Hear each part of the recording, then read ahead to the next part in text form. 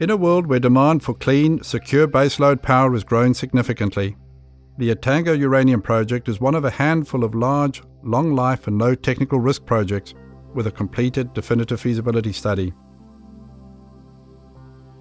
The Etango project is located in the progressive, mining friendly democracy of Namibia in southern Africa, which has a long history of mining and is the world's fifth largest producer of uranium. The project is located just 47 kilometers from one of southern Africa's largest and busiest deepwater ports, Walvis Bay, which has handled the transportation of uranium oxide for more than 35 years. Just 38 kilometers west of Etango is the thriving seaside town of Swakopmund. Home to over 45,000 people, Swakopmund offers excellent supporting infrastructure and recreational facilities. Bannerman's Etango project lies within the Erongo region, the trade hub of Namibia. It offers an excellent network of interconnected infrastructure, including sealed roads, rail, power, and water. The Erongo region will source most of its water from desalination plants. The first of these, at Wlotzkasbaken, some 30 kilometers north of Swakopmund, was commissioned in 2010. A second plant, planned at mile 6, will supply additional water from 2014. Etango will require a short access road from the nearby highway, a power line branch, and a water pipeline from Swakopmund. The Erongo region is host to an extraordinary concentration of large, world-class uranium deposits with two producing mines, Rio Tinto's Rossing mine, in operation since 1976, and Paladin Energy's Langer Heinrich mine. Etango is a global top 10 pure uranium project with a maiden ore reserve of 119 million pounds of uranium oxide and planned production of 6 to 9 million pounds uranium oxide per annum. The recently completed DFS is the culmination of six years of resource drilling, four years of metallurgical studies, and three years of engineering studies.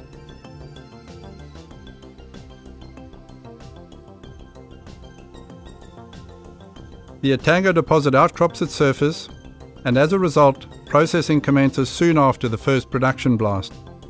The uranium is hosted within granitic intrusions, known locally as Alaskite.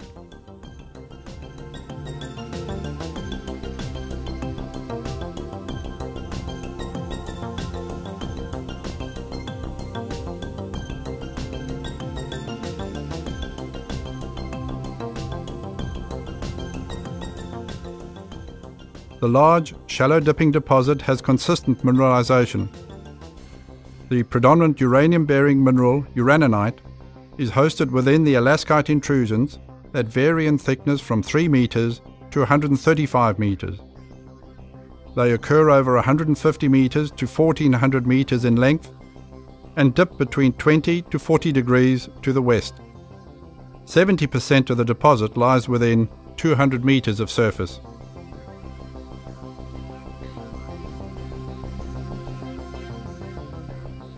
The average strip ratio of 3.3 to 1 is low compared to its peers. This is a large project and therefore will be mined in a series of stages over the long mine life.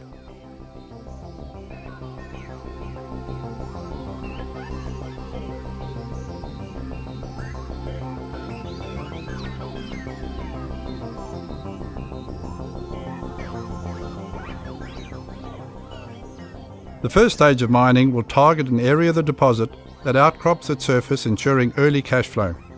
The conventional open pit mining operation will utilize 550 ton hydraulic backhoe excavators and 220 ton diesel haul trucks. Drilling and blasting will be conducted on 12 meter benches and mining on 4 to 4.5 meter flitches to minimize ore dilution. All mine planning is done to ensure flexibility for future anticipated uranium price increases. Radiometric scanners will determine the average grade of each truckload of ore, ensuring accurate separation of ore and waste.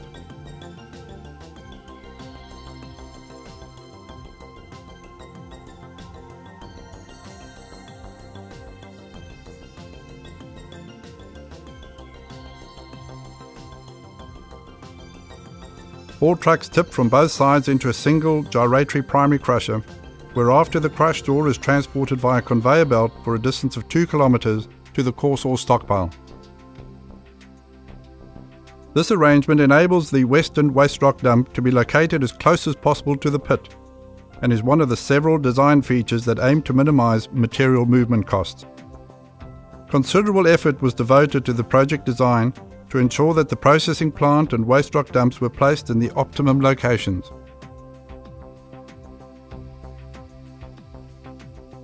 The ore is then conveyed from the coarse ore stockpile to the secondary and tertiary crushing plant.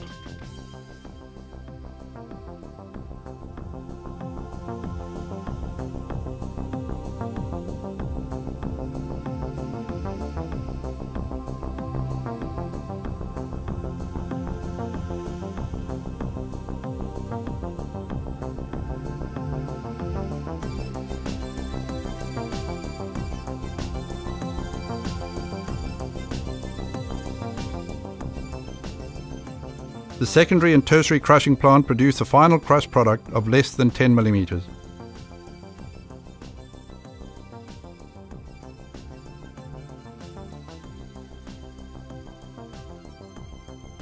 The crushed ore is mixed with water, sulfuric acid, and a binding agent in the two agglomerating drums which are approximately 4 meters in diameter and 12 meters in length. The agglomerated ore is then mechanically stacked on two adjacent 5 meter high 260 meter wide and 900 meter long leach pads before being reticulated with diluted sulfuric acid. The total leach cycle time is 52 days.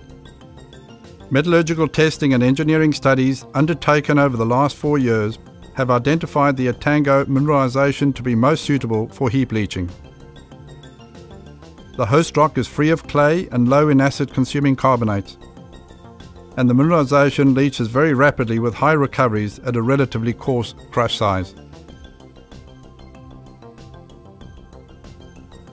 The final stage in the heap leach process is for the leached material to be flushed and drained to remove any residual sulfuric acid and leached uranium.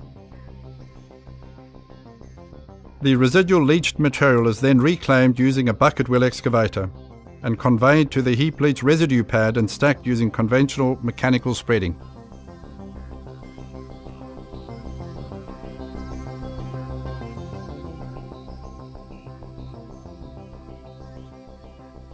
The conveyor can be readily shifted, enabling material to be stacked at any position on the pad, negating the need for additional haul trucks.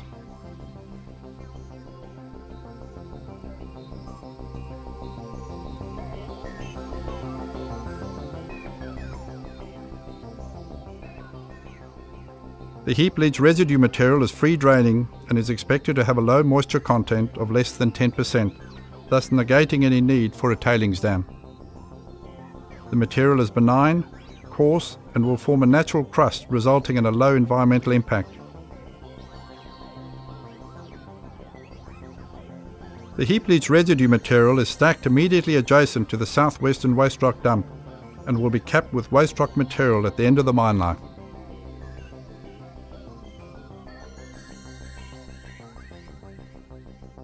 On-off heap leaching is used extensively in the large copper mining operations in South America. The characteristics of the Etango ore and desert location make it an ideal candidate for this process. The uranium bearing leach solution is gravity fed to a temporary storage pond and then pumped to the extraction plant for purification and final recovery.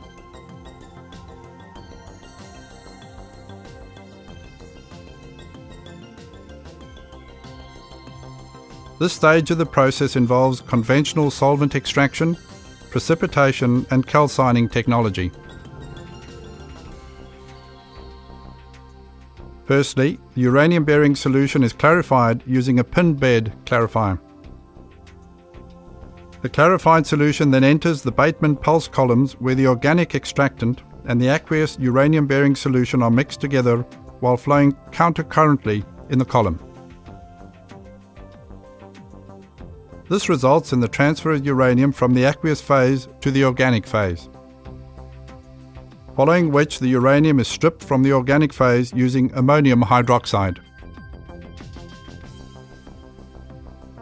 The loaded strip liquor is pumped into a series of precipitation tanks where anhydrous ammonia is added to raise the pH.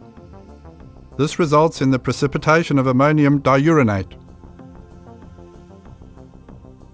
This slurry is then centrifuged to dewater the solids before being calcined to produce uranium oxide, also referred to as yellow cake.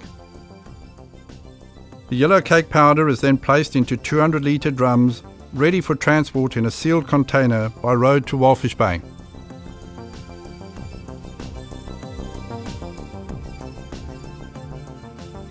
In summary, the processing plant design is conventional, simple and efficient, thereby facilitating ease of operation and maintenance.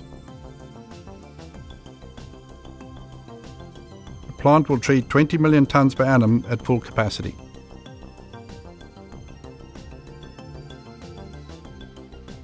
Uranium oxide will be transported to Walvis Bay by road and then shipped to converters in Europe and North America.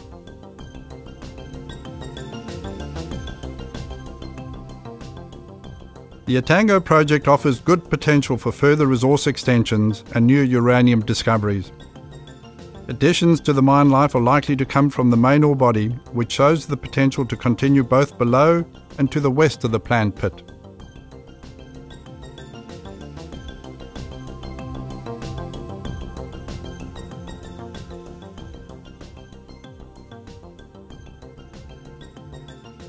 The Aina, Onjamba and Ompo deposits are also likely to extend beyond the existing defined boundaries.